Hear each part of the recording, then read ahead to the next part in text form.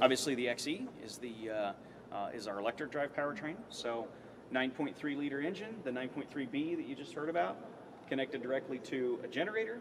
Generator generates the electricity, goes up into the inverter. The inverter is basically a set of capacitors and you know computers that, that does all the management of that electricity. So it, it manages, it condenses, uh, it it, uh, it conditions the electricity, and then sends it down into an, a motor in the transmission that does all of your forward and reverse propulsion.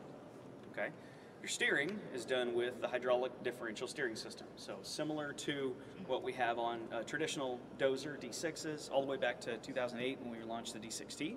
Um, actually, we had diff steer all the way back in '87, didn't we? Yeah, diff steer's gone all the way back to '87. It's it's we've had that for a long time. But what that does is that lets us lets us have a, a dedicated pump and motor to do that steering. So increase speed of one side and decrease the speed of the other side to do that steering, and, and it gives us a lot of power in a turn.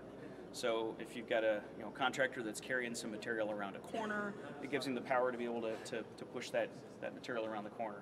Pioneering, um, you know, doing any land clearing, grubbing out trees, all that kind of work can be done very, very effectively, quickly with differential steering. Uh, pipeline, sweeping trench backfill, you know, that type of work, differential steering uh, provides a, a, an amazing advantage in, in terms of productivity. So we kept that system in the XE and it's very, very similar to the system that's in the D6 as well, um, in the, the lockup clutch, four-speed lockup clutch powertrain.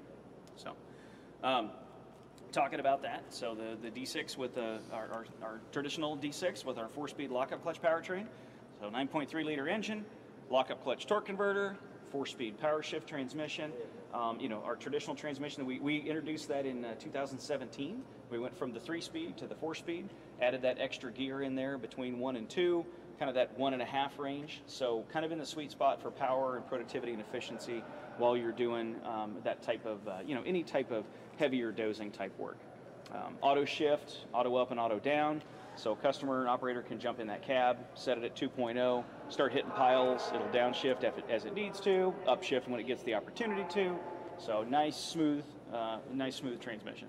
It has 30 speed ranges, just like a traditional Hystat or even a D6XE. So it's really it's really easy for a customer to jump in and, and set that at whatever speed he wants to, 1.7 or 2.2, and it'll automatically shift as they need to. So it's it's really really smooth and really nice.